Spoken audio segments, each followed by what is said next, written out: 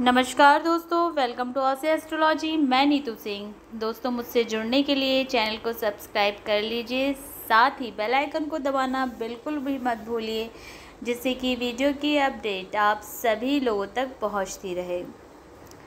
स्वप्न शास्त्र के अनुसार अगर कोई व्यक्ति सपने में नाला देखता है, जो गंदा नाला होता है ना काला काला पानी जिसमें होता है, अगर उस टाइप का आपने नाला देखा है, सपने में नाला देखा है तो इस सपने का क्या अर्थ है? सपने में नाला देखना भी अच्छा सपना नहीं माना जाता। ये बहुत ही बुरा सपना है। ये सपना दर्शाता है कि आपके जीवन में संकट आने वाले हैं।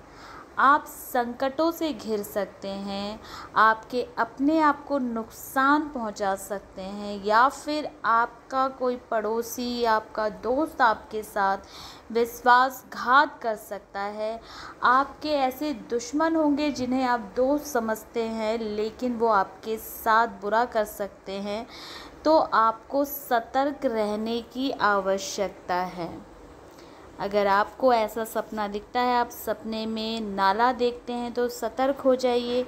आपको संकट घेरने वाले इस सपने का यही मतलब स्वप्न शास्त्र में बताया गया है। दोस्तों, अगर आपको वीडियो मेरी पसंद आई, वीडियो लाइक करें, शेयर करें।